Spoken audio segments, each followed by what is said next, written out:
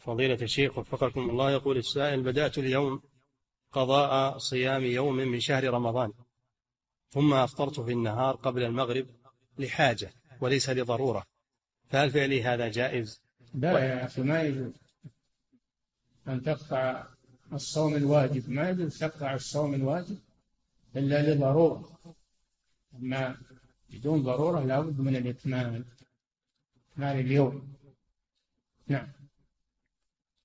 ولهذا يقول العلماء ومن دخل في فرض موسع حرم قطعه مثل القضاء. نعم.